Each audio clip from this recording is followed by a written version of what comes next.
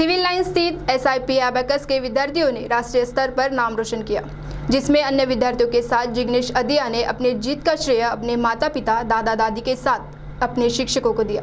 तो चलिए नज़र डालते इस खबर पर।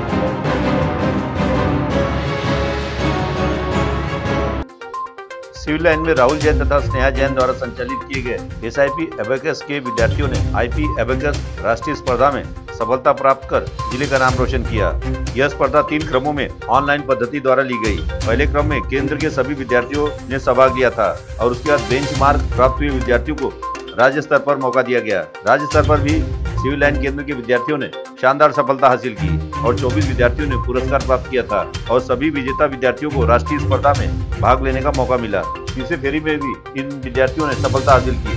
गौरतलब है, इस स्पर्धा में संपूर्ण देश से छब्बीस हज़ार विद्यार्थियों ने सहभाग लिया था। जिसमें प्रथम श्रेणी में जिग्नेश अधिया नारायणा विद्यालय, Arpita Chauhan, Indira Gandhi garden high school, Sarth Bujade, Indira Gandhi garden high school, Nihan Kuhane Mount Carmel convent school, Rudraksh Lande, Mount Carmel convent school द्वितीय श्रेणी में मिशिका खोसला पोदार इंटरनेशनल आर्यन ठाकुर, नारायण विद्यालय उसी प्रकार वनी के दो विद्यार्थियों ने भी सफलता हासिल की, जिसमें मानसी बोदोडेकर दुष्का पब्लिक स्कूल वनी सोनम वडकी सोरन लीला इंटरनेशनल के विद्यार्थी का समावेश है।